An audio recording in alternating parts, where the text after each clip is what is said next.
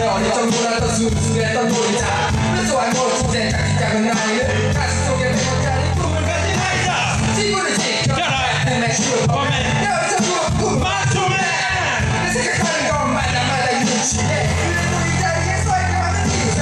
옆에 집어먹던 꼬리의